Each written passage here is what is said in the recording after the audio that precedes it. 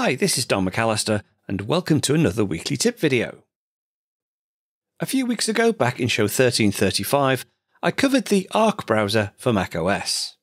As promised, I said I would also cover another app from the browser company, and that's the new Arc Search for iOS. So let's take a look.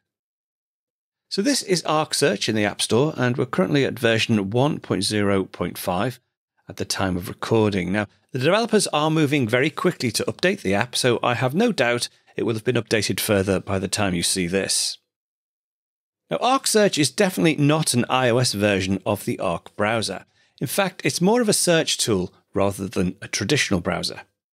Let's go ahead and download it to my iPhone. and we'll go ahead and open Arc Search.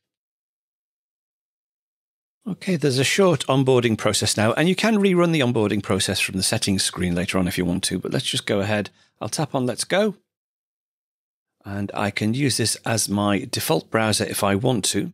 And it uses a thing called Browse for Me, which basically will go ahead and pull together lots of different web pages and create like mini websites for you when you do your search or you can use it as a traditional browser. I'm not going to set it as my default browser for now. I can come back and do that later if I want to. I'm going to go ahead and say skip. And uh, they are quite insistent that you should use it as your default browser, but I would suggest that you get used to it first uh, before you do that. Uh, some of the features it mentions here, Browse for Me, I've just mentioned. There's an always on ad blocker, and also there's a feature to auto archive your tabs as well.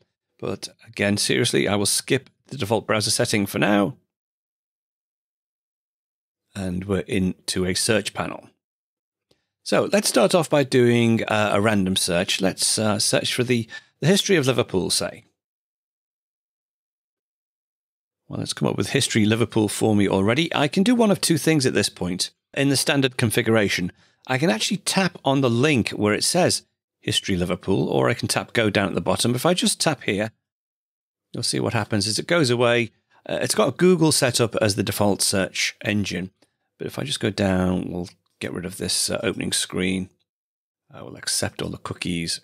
So we've got a standard Google search results pane here. I can go ahead and scroll up and down. Uh, there's a Wikipedia option at the top. Uh, more Wikipedia information people always search for, and then various different websites that if I want to, I can tab in and read more about the history of Liverpool. That's just a quick preview of one of this week's Apple related tutorials from Screencasts Online. Screencasts Online is your premium source of Apple related video tutorials. All of our members get access to brand new up to date tutorials each week, as well as unlimited access to our entire video archive full of Mac and iOS related tutorials. You can stream and download all of our videos on your Mac, iPad, and iPhone and even your Apple TV using the members only Screencasts Online Apple TV app. Membership also includes a complimentary subscription to the digital Screencasts Online monthly magazine, published each month and packed with videos, articles, reviews, as well as hints and tips covering all aspects of the Mac, iPad, iPhone, and all of the other fantastic Apple products. So, if you're ready to start getting the most out of your Apple devices, Visit screencastsonline.com today and become a Screencasts Online member.